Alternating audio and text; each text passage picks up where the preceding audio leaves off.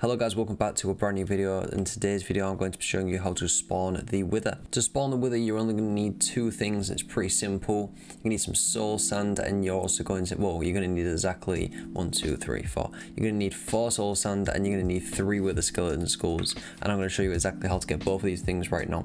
Something else you're going to need is a nether portal because you're going to need to be able to go through to the nether. So let's go do that now. When you go through to the nether, you'll come across something called a nether fortress.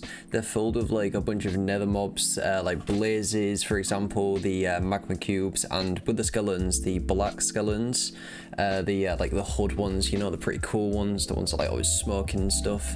But like, uh, yeah, you want to come over to them and uh, they'll have like a zero to like a 30% chance, I mean, there's a 30% chance to drop the Wither skeleton skulls. And once you've got three of them, go back through to either like the end or just a normal bolt, whatever, wherever you plan on doing the Wither, go to there now. So once you're back at the place where you're going to be doing your Wither uh, killing. So you need to place one block there of the soul sand, one block there, one block there, one block there. Pretty simple, just like um like an iron golem basically.